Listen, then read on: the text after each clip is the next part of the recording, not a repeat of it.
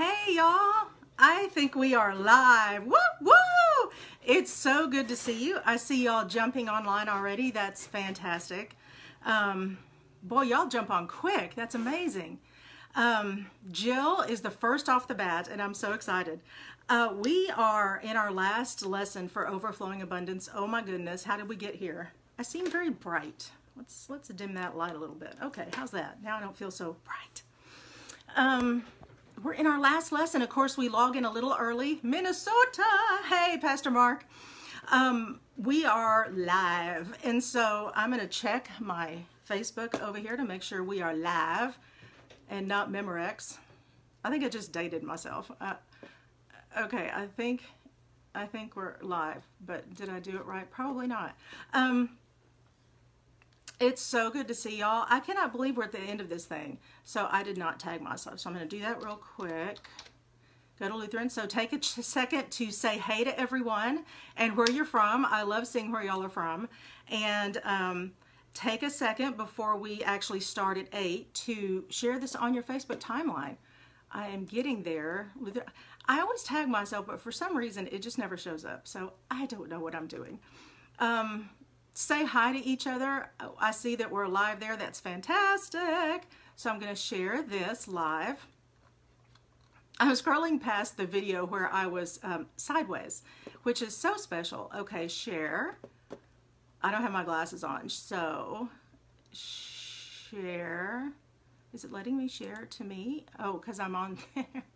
Okay, share to me. So I'm going to share it to my timeline. Okay, I'm so sorry. Y'all say hi to each other. I see you. Vegas in the house again. Carol in the house. Canada in the house again. I love it. Um, let me share this real quick. I see I see a lot of y'all are sharing. That's fantastic. That's great. Uh, share now public. Okay, uh, so I should be shared now. This has been shared to your timeline. Don't you love social media? It has been such a godsend during this time, hasn't it? Because it has really worked to keep us connected. And so we have like a minute. So grab your beverage. I've got Coke Zero again from this wonderful mug that Michigan Yoopers sent me. So if you're from Michigan, you probably recognize the, the whole Yooper thing going on there. So thank you, sweet friends in Minnesota. And uh, I said Minnesota. It's Michigan, isn't it? I'm gonna get myself in trouble. You'd think I wasn't educated. Um, I'm so glad y'all are here. It's it's amazing. I see we have almost 300 people online in less than four minutes, which is fantastic. I have so loved this time with y'all, and so stay tuned at the end because there's a special announcement on what's coming next, so you don't want to miss that. So I think we are straight up 8 o'clock. So you know what? I'm all about keeping us on time because we have so much to dig into tonight as we wrap up. So I'm going to start us in prayer, if you would pray with me. Father, what an amazing, amazing day you've given us. And it was amazing simply because you let it happen. You, you gave us the air we needed, the breath we needed, everything we needed for today. Overflowing abundance, whether that day had challenges or whether today was um, just a day of rest. Father, we know that you were there all the way. So, Father, as we dig into your word uh, for this last session of overflowing abundance, I pray that you just let your spirit move, move online because you can move anywhere. And so, Father, we know that you can move online in hearts and souls. And Father, we just pray that you do that for everyone connected now, everyone who will connect in the future. Father, just give them what they need to know that you are enough and give um, the words from Scripture that they need to hear that you are there for them, that you are their Savior. We pray this in Jesus' name. Amen. So, as we start, say hi to President Debbie Larson, who is live in the comments. Say hi to President uh, Debbie. Say hi to Vice President Susan Brunkow. And say hi to Pastoral Counselors Mitch and Brian. And so it's so wonderful to have y'all here. So, if you are on your study guide, we're on page 88 in the study guide. Page 88 in the study guide. And I'm, I've remembered again to be able to give y'all the, is my volume up? To be able to give y'all the blanks for each one. And so I'll make sure to do that. But this is our last lesson, but hang on, there's an announcement at the end. So we left off last week with, with Jesus having the disciples seating the crowd and the actual miracle finally taking place and how all that went down of seating the people by garden bed by garden bed. You know, we remember that phrase. And establishing order so that the disciples could feed the crowd. So we left off with Jesus actually performing that multiplication miracle. And it was bread full to their satisfaction, fish and loaves to their satisfaction, which is amazing. And we may think heading into this last lesson that, okay, the meal is over, that means the story's over. But you know what? The day is not over yet. And there is still some stuff happening. So if you would turn with me to Matthew 14, that should be dog eared and ugly in your Bible by now. Matthew 14. Matthew 14, we're going to look at verse 20 and 21 verses 20 and 21, Matthew 14. It says, And they all ate and were satisfied. And they took up 12 baskets full of the broken pieces left over. And those who ate were about 5,000 men, besides women and children. Now, this kind of seems like an anticlimactic ending because if you remember the scene, you know, they, they've been there, they've they're in their garden bed by garden bed. They've they've eaten. The sun is setting. The people have been healed. They've heard about this kingdom that that is beyond the grave, this hope beyond the grave. And you get this sense that people are just, you know, relaxing. And it's interesting that um, after all of that, Jesus is concerned about the trash pickup. You know, it's like anticlimactic. It's like all this, you always want to end on the high note, like end on the feeding of the 5,000, feeding of the 20,000, and he did it, rah, and we go. But he says, no, no, pick up what's left over. Pick up what's left over. And why would he end with that? Because what we see here is the full circle of discipleship. We see the full circle of discipleship. Because if you realize, the first thing Jesus asked them was, um, the disciples to ask the people to have a seat. He, he, he asked the disciples for a little setup, you know, if we're thinking in potluck terms, you know. He asked for the disciples to for a little setup. Get the people situated, create some aisles, you know, let's get the baskets, let's get, you know, let's get some order, and then we can serve. And so the kind of the first step was Jesus asking for the setup. And the second step we see is them actually feeding the people. And I mean, what an amazing time that would have been for the people because when you when you serve a meal if you've done that at a potluck and you probably have or even at another meal it takes time to serve a meal because you don't just throw the food at people you know you um, you take time to to maybe chat or smile or say here how are you doing? or whatever. So you get this relaxed sense of the fact that they took time you know serving. And then at the end jesus says don't forget you know we got to clean up but it wasn't just a full circle of discipleship, which is necessary. He also didn't want any of his provision to go to waste, any of it, because we see in John's gospel of the feeding of the 5,000 that Jesus said, uh, Pick up the pieces so that nothing may be lost. So that nothing may be lost. And what we see there is God gives us what we need, but He also overflows so we can share that with others. We can have stuff for a little later. It's not like the Old Testament manna where it went bad after a day. Sometimes He provides blessing in our life that overflows for a long time, especially if He's blessed you financially, if He's blessed you with um, a place that people can retreat to. I have dear friends in my uh, Connect group who, for years, they had a house in, in Fredericksburg in the Hill Country in Texas. And anybody in ministry was welcome to take a break and go up there for weekends or week longs. And I can't tell you the, the number of times that I was able to stay up there in Fredericksburg, 20 miles outside of nowhere with nothing but coyotes, you know, and, and, and things. But it was so peaceful. And that overflowing abundance that allowed them to get that house at that time was a blessing to others for people in ministry just to unplug and just to relax. But I kind of see this post event cleanup is like a ministry event follow up. I mean, think about Christmas services. Think about um, Easter services. You know, when we have a lot of visitors in our churches, there's follow up that needs to happen afterwards. You know, whether it's um, texting somebody, making a phone call, dropping by their house. It's that follow up that matters, that personal touch that matters.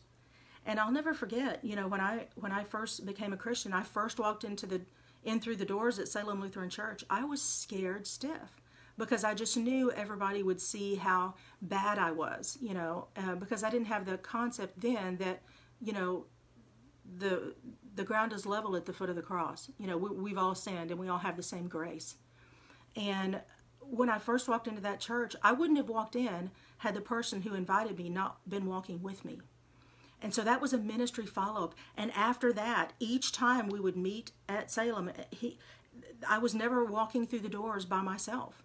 Uh, they always met me at the door to make sure that I was felt safe and comfortable and welcomed. And it's a ministry follow up. And so as the people here are realizing what has happened and kind of getting stirring around to kind of move, um, the disciples are picking up the pieces and picking up the pieces. And we may not see cleanup as necessary um, or important, but it's it, but it is. It is very necessary. I'll never forget rafting down the Grand Canyon. I did that about a decade ago, and if you haven't done it, I highly recommend it. It's amazing. But it was always amazing to me that when we would uh, we rafted for three days straight, and we rafted. It was like 125 miles in three days because that Colorado River just goes, and every time we docked into a place to camp overnight, it looked like no one had ever been there. Like we were the first explorers because they were very intentional in Grand Canyon National Park that anyone, anyone who is um, in the park, if they make any kind of fire, trash, whatever, everything has to be removed. And it it's such a picture of taking care of what God has given us. And we see that here that it's a full circle step. It's part of that full circle of ministry. And it's probably the hardest step. And the reason I say that is because I know a lot of you on here who um, do potlucks, because that's, I mean, Purple Women, that's just what we do.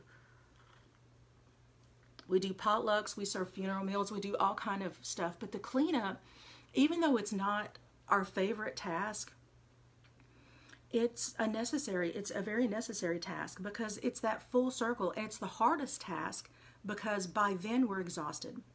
And you got to remember, in the feeding of the 5,000, the disciples were already exhausted. Remember, they were they were getting away, withdrawing with Jesus to get some rest, and they get in a boat and dock, and here's all these people, and they don't get rest. So by the time they've already landed, not rest, Ed, not rested, and have served all day, now Jesus says, don't forget to clean up. I, I, you know, I wonder if any of the disciples like roll their eyes like, oh, like I just want a nap because I know I felt that way. But the cleanup is important, but it's also the most exhausting because all you want to do when everything is done and everything is over is you just want to go home and go to sleep and get off your feet. And I, I see a lot of women going, yep, yep, yep, yep, yep, yep because that's true. But it says there were 12 baskets of leftover broken pieces. Did you realize that what was left over was more than the original amount? What was left over was even more abundant than the original five loaves. And that's part of the miracle. And when you look at the original language, when we're talking about 12 baskets of what was left over, we're not talking about, you know, half eaten pieces of bread or, or pieces of crust because that's that's just gross. It, it more refers to untouched portions of bread. Now, I have always been kind of a germaphobe, and maybe that's because it's, you know, growing up in a big family, but um, I have always not eaten after anyone or let anyone drink out of my cup. I don't care who they are. And it's so funny because over the years, my sisters know my sisters know that if uh, they don't want to go to the kitchen to get a drink, all they have to do is drink out of mine because if they drink out of my cup, it's theirs. Like, that's it. And I wonder how many of us following this coronavirus have become germaphobes. And I don't think that's a bad thing. I, I, I really don't. But when, when it said broken pieces, my germaphobe flag went up. But it's more of untouched portions, untouched portions. So we're not talking pieces that have been slimed on and stuff like that. But um, these baskets let's let's talk about these baskets because i know in one of the earlier lessons there was a question about where did the baskets come from? Well you know you're in a fishing area and so there were tons of baskets you know for for different kind of stuff. But these particular baskets you know back then they made them with reeds and, and twigs and natural materials and stuff and they were you know small medium and large. But in the new testament there were really two main kinds of baskets. There were ones that were really really big like used for harvest time, like used to store the fish uh, from the fishermen. Like they were big enough where you could actually fit a person in them. They would usually have handles with a lid. And the big baskets that you could literally like sit in and hide um, were carried with poles. But that's not the baskets that we're talking about here because they had the large baskets and the small baskets for like household items. But this word for basket here is only used in the New Testament four times and it's only used in the context of the feeding of the 5,000. So this word for basket only appears in the four accounts of the feeding of the 5,000. And this basket means it held individual portions. It was almost like a, an old school lunchbox, but it was a basket that you could like hang on your on your belt or the or the rope that that held your robe. And so it's a specific kind of basket. And it's like Jesus didn't want the disciples to miss the blessing that was left over because you can't really forget something when it's strapped to you, right? When you get hungry and all you have to do is go right there, you know, the disciples remembered every time if they pulled out of that pouch what that pouch used to hold. And that's so, so powerful. But there were 12 baskets left over and that's not a mistake. 12 is a very important number in Scripture. We see it in the Old Testament. 12 was representative of, of Jacob's sons, the, the 12 tribes of Israel. And in the New Testament, it represented, you know, God's people, the church, through the 12 apostles. So there were 12 baskets. But with those 12 baskets that the disciples had, he didn't have to remind the disciples that they had failed. He gave them a tangible reminder that he's always going to be enough. He didn't you you don't see him pulling the disciples aside saying you know you doubted. I told you so. You don't see that. You see him giving again giving provision again. Here's a basket. Here is the provision you need for for lunch today or dinner tonight or breakfast tomorrow whatever it is and it's on you. He didn't doubt to shame. He reminded out of love. And that's one of the most beautiful things out of this whole story but you'll see it on your notes page. With the baskets, Jesus provided a reminder that he is always enough. With the baskets, Jesus provided a reminder that he is always enough. You know, during this pandemic, I think we've doubted that he's enough. I, I know that I have. When, and I'm not just talking toilet paper and stuff like that, but are we going to survive? Are we going to get through this? How's it going to affect my family? Am I going to lose my job? There are many ways we can doubt when things aren't going well. And remember, in the crowd, you had people who were sick. You had the disciples who were exhausted. You're not talking stellar people who were there for a party. You know, these were needs being met. And I think this pandemic has reminded us that we doubt, but we have a God who always provides enough. But did you notice with the 12 baskets that there wasn't one for Jesus? There wasn't one for Jesus, which allowed the disciples the opportunity to share back with Jesus what he had provided for in the first place. That's such a literal picture of offerings and tithings. We have what we have in this life because God gave first. Period. Everything we have our homes, our cars, our blessings, whatever it is, our family, everything we have, everything we have is because He gave it first. And so we give back. We give back. So how are we doing that during this time? When we're when we're doubting maybe and, and backtracking a little or being being hesitant to to spend or hesitant to get out, whether you're wearing a mask or not, you know, how are we doubting? Um, but Jesus Jesus, with just giving 12 baskets, reminded the disciples that, yeah, share back th- with what you've been overflown with, overflowing with, to share back with others. Because a lot of times when we have so much, and we talked about this in an earlier lesson, we have so much blessing that it flows through us. It's not supposed to stick with us, you know, even though some of it does. But the leftovers, I found this interesting. The leftovers shared pointed people to the provider. When, if the disciples shared what they had later, if we share what we have now and we tell them the blessing from whom it came, we have an opportunity to provide out of that overflowing abundance a way for people to see Jesus. Yeah, I only have two rolls of toilet paper, but here's one. Here's one of my two. I know that's a sad example, but it's just so relevant for right now. But what is he overflown right now that if you're holding on to, maybe maybe open your fist and, and, and decide to, to give instead. You know, we, we have that. Give back to God what was his in the first place. But we remember that when we give to God, we just don't give him our leftovers. Um, I know way back when I was horrible with finances, when I was in my 20s, I got into horrible debt. Y'all have heard that story. Um, but I would always uh, pay bills first, pay bills first, and there was nothing left to do anything with.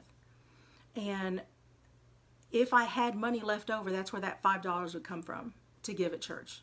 God got my leftovers. But, and this is in your outline, this is in your book, in response to what God has done, we offer Him our first fruits and our leftovers. What He gave to us, we give Him back the top 10% right off the top no questions asked. And I realize that that, that may not be something that, that some of some of us can do. And I, I get that. I've, I've been there. I've been there.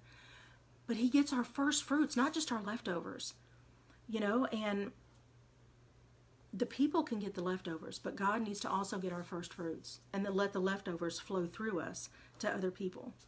He gets both because he provided both, which is just a very cool thing. And the account of the feeding of the 5,000 ends with account of the people. You know, it says there were 5,000 men, you know, besides women and children. It, excuse me, and it wasn't rude. That was just the culture of the day, how they counted people. Kind of like today when the census says, you know, every family has 2.5 kids. Well, it's not like your kid is worth 0.5. You know, your kid is not less than. That's just the way our culture counts it today.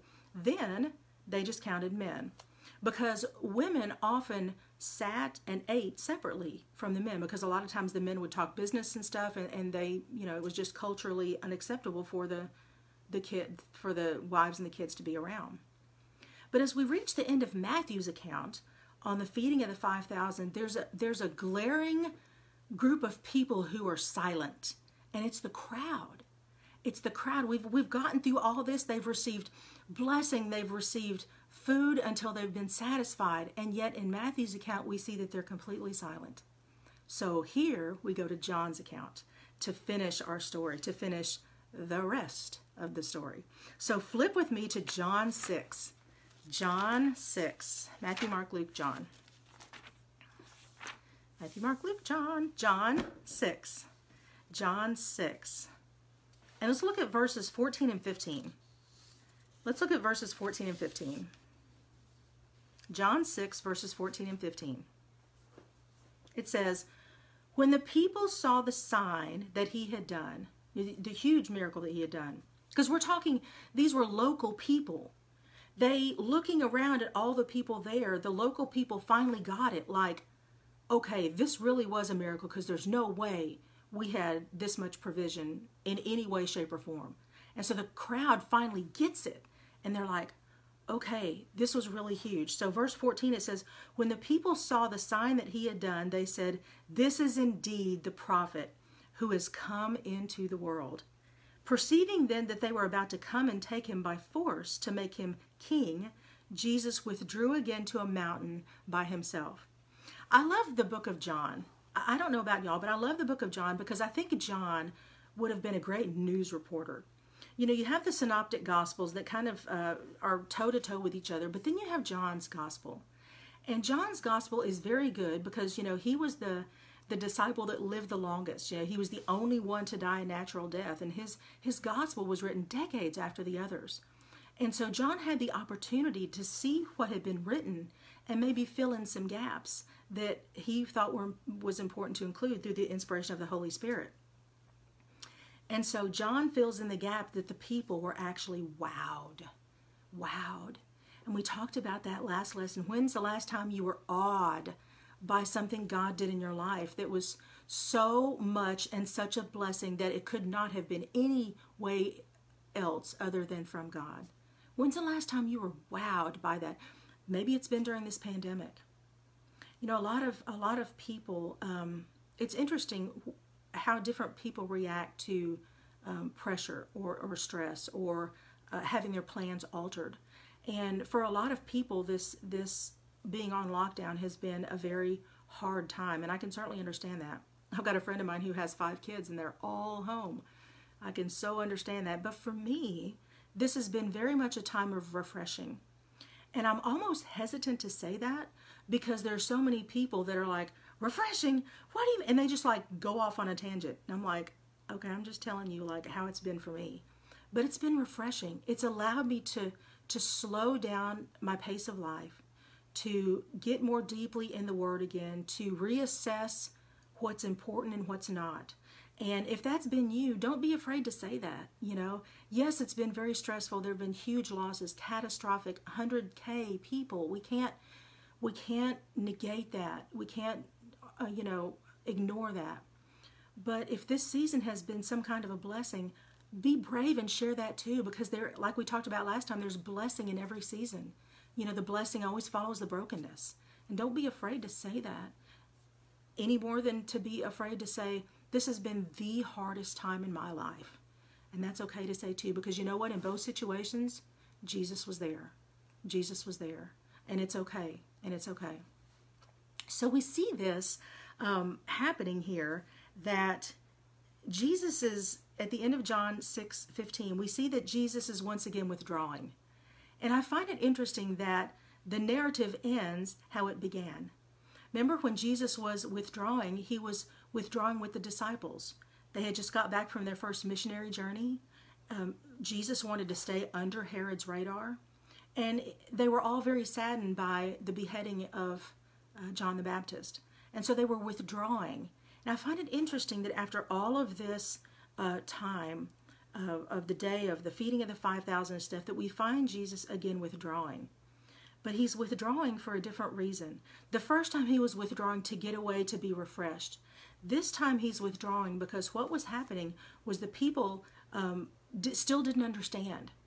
The, the people still kind of saw him as uh, a road trip chef. They're like, hey, this guy can make food come out of his hands. We're following that guy anywhere.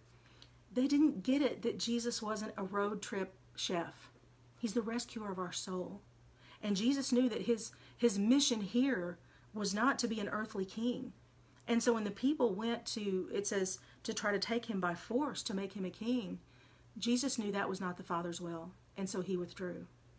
And it gives us permission again when we see that in our own lives to withdraw when we see that, that what is happening is not what we know that God has called us to do or wants us to do or allows us to do in some way, shape, or form, that it's okay to withdraw and not be a part of that, whatever that may look like.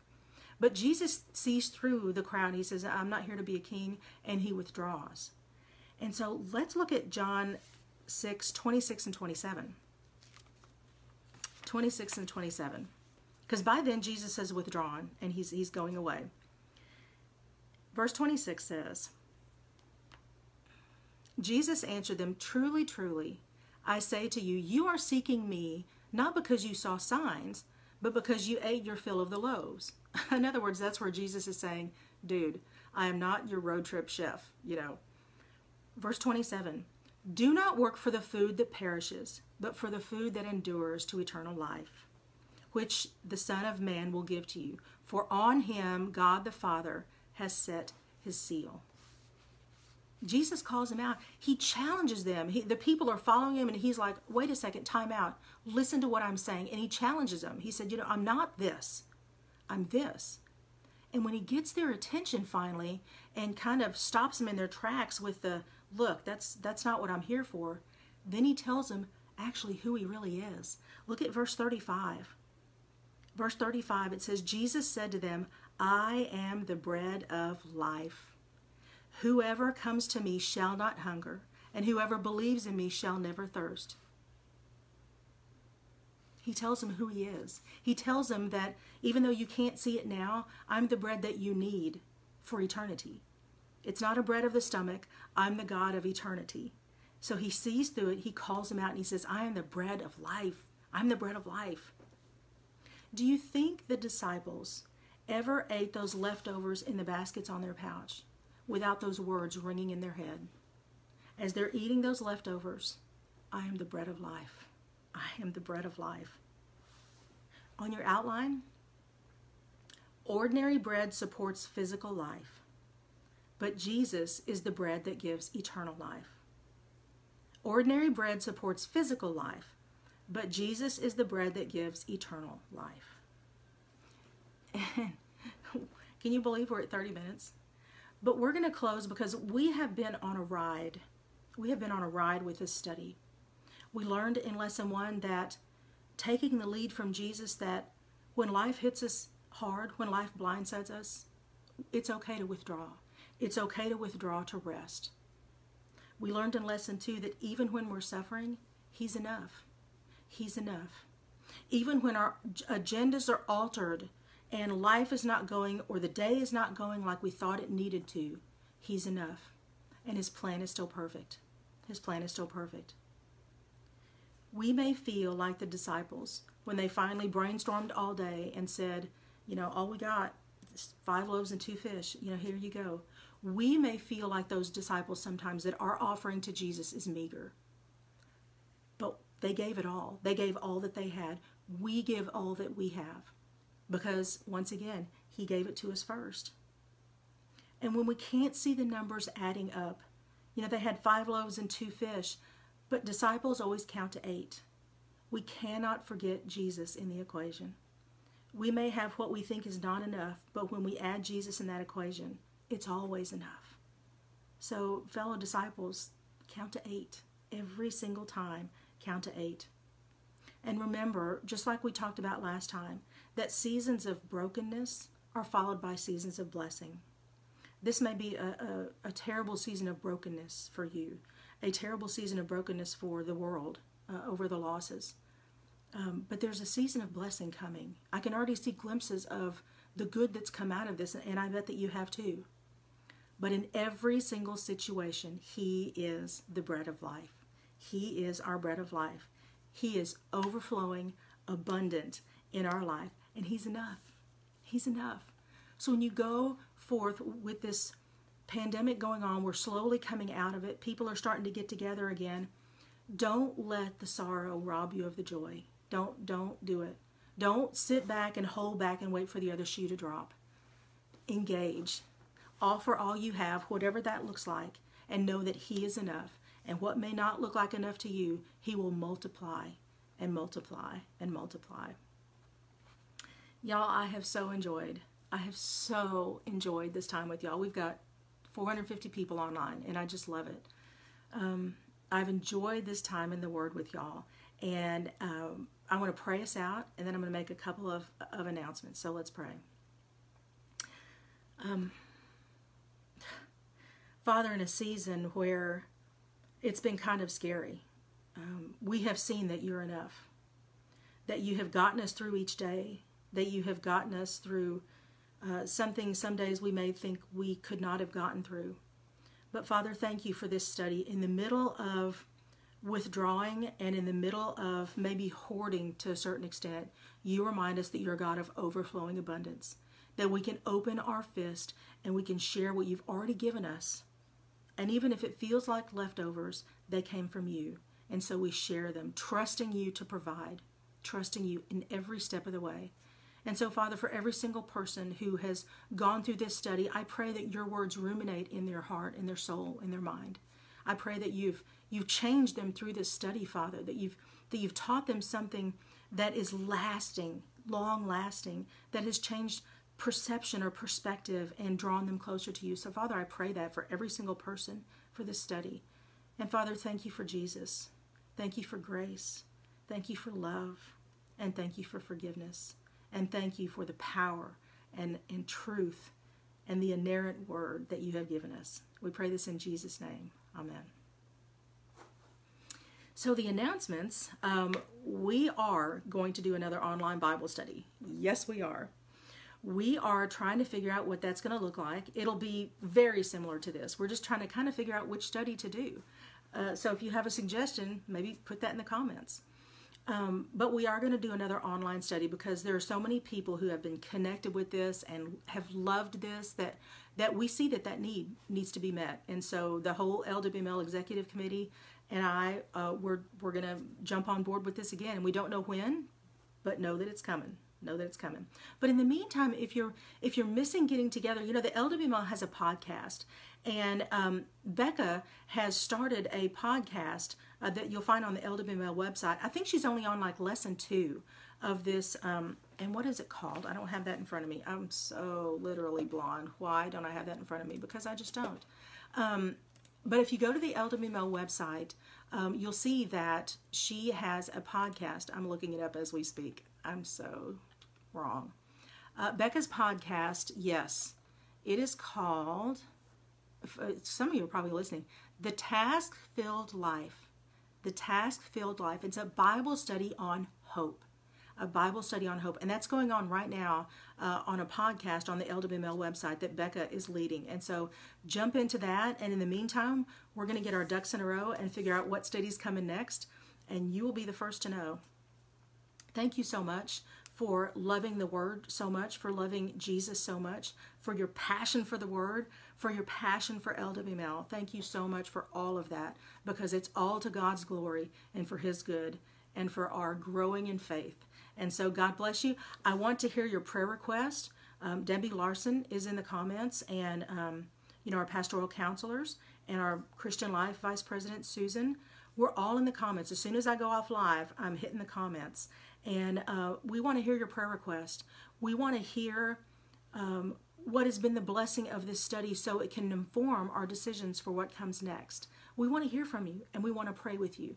And so thank you so much for this. I love you. I love you. I love you. And we will talk soon. God bless you.